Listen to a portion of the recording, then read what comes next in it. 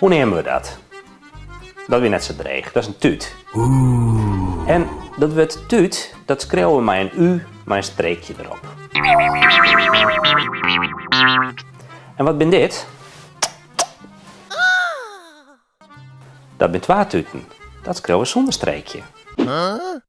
Tuut, daar staat die U, die staat midden in een lettergreep. In dat geval schreeuwen we een streekje op de U. Bij tuten, dan staat die U in een iepen lettergreep. Tu, ten. En in zulke geval, dan schreeuwen we geen streekje op de U. Nog beter schreeuwen leren? Volg je van januari zo een kwarte cursus Schreeuw maar Friesk. Sjog op afoek.nl